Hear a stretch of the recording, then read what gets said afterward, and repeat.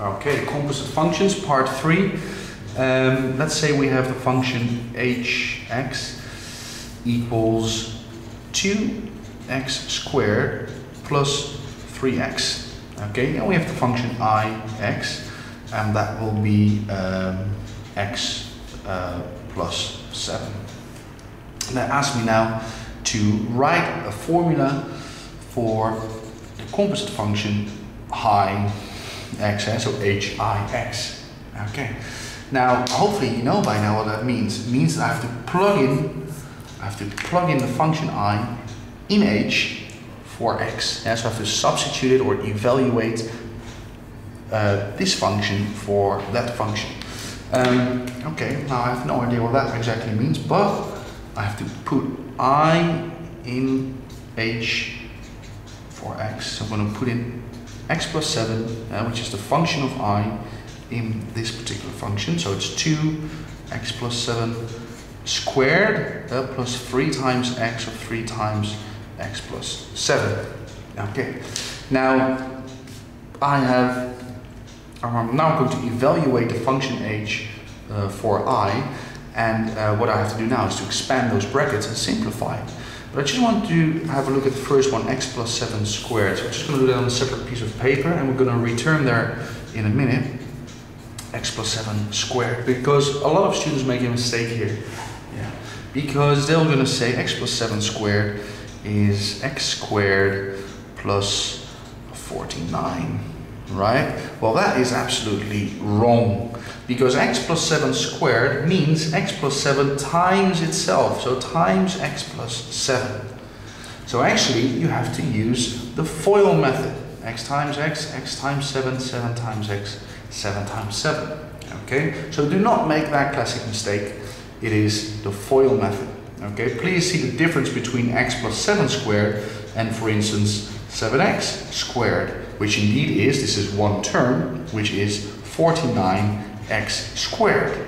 Yeah, but that is not the same question as x plus 7 squared. Okay, I really wanted to, uh, to have said that because so many students unfortunately make a mistake there. So I'm going to expand these brackets now. I'm going to put my equal sign here because I know I'm going to need a lot of space. First I have to do the square head bit mass. So 2 times whatever is inside those brackets. I'm going to leave some space. And I'm going to do it mentally now. This is x times x. So that is x squared. Yeah. x times 7. That's 7x. Yeah. 7 times x. That is 7x and 7 times 7, that is positive 49. It just fits. Yes, what, I, what did I just do? I did this x times x, x times 7, 7 times x, 7 times 7. Now expand already this part, which is 3x plus 21. And don't forget 2 times the 7 by 3 as well. Okay, now before I expand these brackets, let me simplify that to x squared plus 14x plus 49 bracket plus 3x plus 21. Alright, now I'm going to expand these brackets multiplied by 2, which is 2x squared plus 28x, 49 times 2, now you can do 50 times 2 minus 2, yeah, indeed, that is 98, plus 3x plus 21. Okay, now I simplify, combine the like terms. I don't have space for that here, so I'm just going to cheat a little bit and do it like that.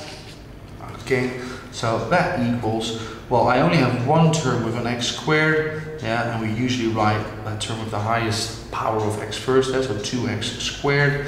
I have plus 28x and plus 3x, so that is a positive 31x, and I have 98 plus 21, which is 119. Okay, so that is the answer to which question. going to move a little bit now. They gave me two functions, h and i, and I have, this is the composite function where I plug the function i into h for x. Okay, so I'm going to put x plus 7 for x. Um, uh, in the function of h and I'm going to get 2x squared plus 31x plus 119. Okay, I have two more videos with some additional information for you. All right, see you there.